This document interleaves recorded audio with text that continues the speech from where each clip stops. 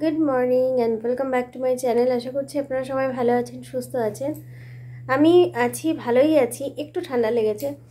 আজকে সকালবেলায় ঘুম থেকে উঠে থেকে এখনও পর্যন্ত কোনো একটা কাজে আমি হাত দিইনি।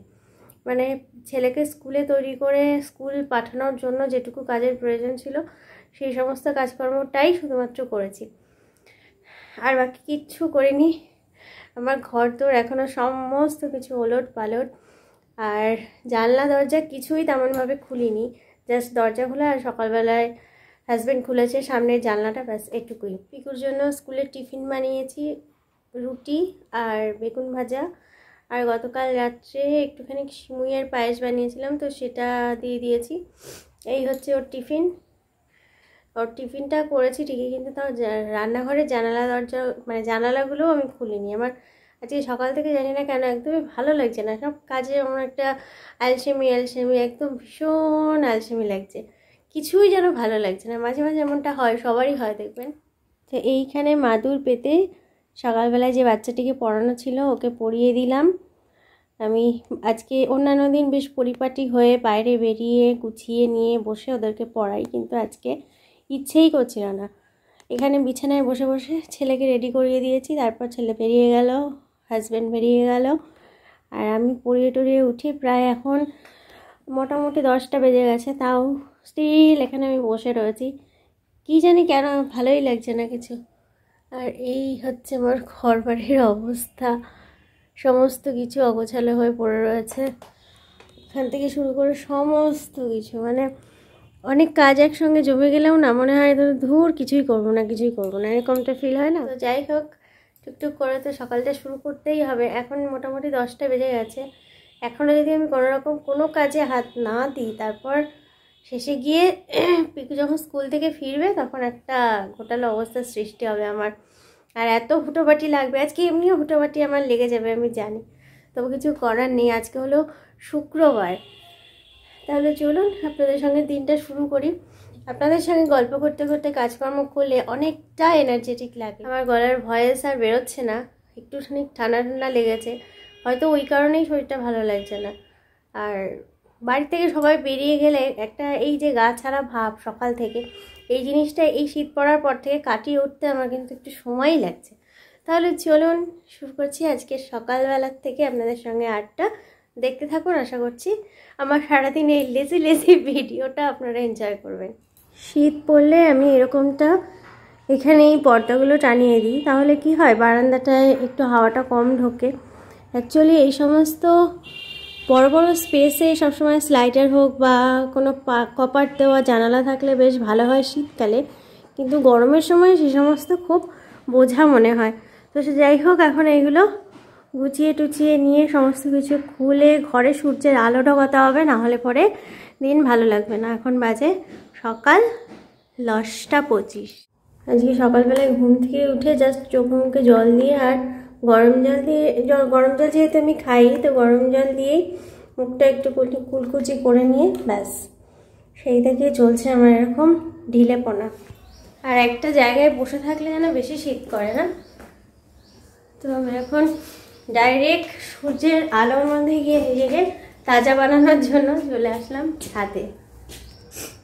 অন্যান্য দিন এরকম সময় আমার কত কাজ হয়ে যায়। আমার রোজ সকালবেলায় ব্রাশ করতে বেশ অনেকটা সময় লাগে আর অনেকটা সময় নিয়ে ব্রাশ করতে আমার ভালোই লাগে। এটা আমার অনেক ছোট্ট থেকেই একটা অভ্যাস বলতে পারেন যে বেশ অনেকটা সময় নিয়ে ধীরে ধীরে ব্রাশ করি।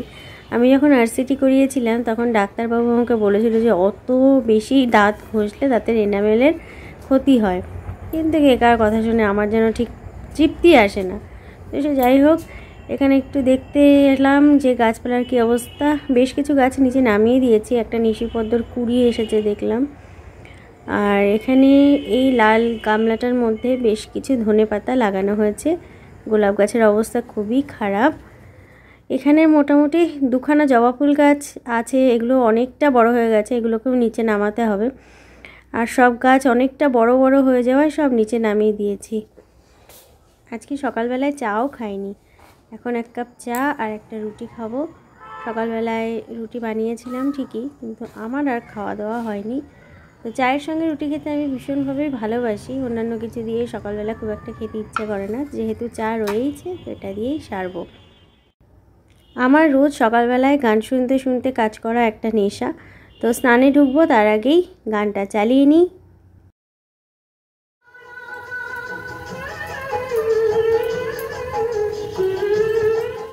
মা হওয়ার পর প্রত্যেকটা মেয়েরই নানা রকম হরমোনাল চেঞ্জেসের জন্য এত বেশি হেয়ার ফল হয়, প্রত্যেকেরই চুল উঠে পাতলা হয়ে যায়। খুব কম মানুষেরই আছে যে মাথার চুল যেমন তেমনই থেকে যায়।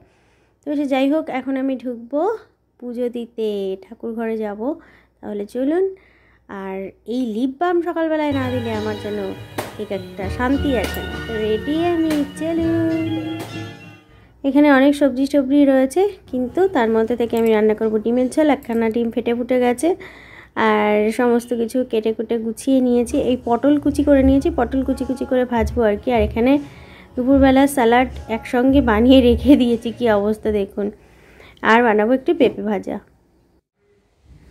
পিকো স্কুলের ছুটির টাইমটা এক ঘণ্টা মোটামুটি লেট হয়ে গেছে, বেচারা এখনও ফেরেনি স্কুল থেকে। ওর বাবা জাস্ট আনতে গেল, আর এখানে সমস্ত কিছু রান্না বান্না করে গুছিয়ে টুচিয়ে রেখে নিয়েছি।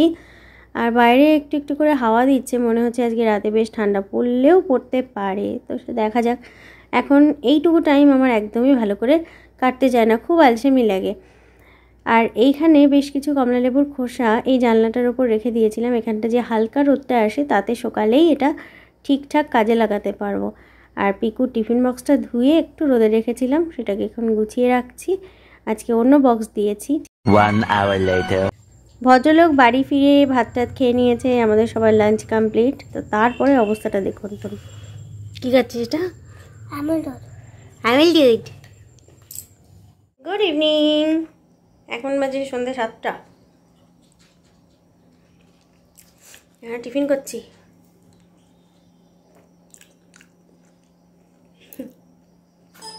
বাচ্চাদের পড়াতে না প্রচণ্ড এফোর্ট দিতে হয়। মানে প্রত্যেকটা জিনিস যদি আপনি বুঝিয়ে বুঝিয়ে পড়ান, সেক্ষেত্রে খিদে পেয়ে যায়। মানে কথা এত খরচা করতে হয়, তাই জন্য খিদে পেয়ে যায়। এই জন্য আমি পড়িয়ে উঠলাম। এখন এমন খিদে পেয়েছে, এক বাটি সেই সিমুয়ের পায়েস নিয়ে এসে বসেছি। এটাই এখন খাব। টিফিন করলাম, তারপর একটুখানি ঘরটার ঝাড়টার দিয়ে নিলাম। এই কাজটা আমার দিনের মধ্যে বেশ কয়েকবার করতেই হয়। ঘর বেশ কিছুক্ষণ বাদে বাদে যদি একটুখানি ঝাড় দিয়ে রাখি মানে চার পাঁচবার যদি ঝাড় দেওয়া যায়, আমার মনে একটা শান্তি আসে। দেখুন বন্ধুগণ, পড়াশুনো কীভাবে করতে হয়? আপনারা যারা পড়াশুনো করেন কীভাবে করেন জানি না। তবে এই এই পদ্ধতিতে পড়াশুনো করেন কি না আমাকে জানান। অবস্থা দেখুন শুধু। বইয়ের মেলা। সারা খাট নিজে নিয়ে দখল করে নিয়ে বসে আছে। জায়গায় হচ্ছে না, এখন ওইখানে ঘুপচির মধ্যে রুটিন দেখে দেখে বই গোছাচ্ছে। প্রত্যেক শুক্রবারে পিকু স্কুল থেকে ফিরলে আমি পিকু স্কুলের ব্যাগটা ধুয়ে দিই। আর আজকে সময়ও কুলোতে পারিনি আর ধোয়াও হয়নি।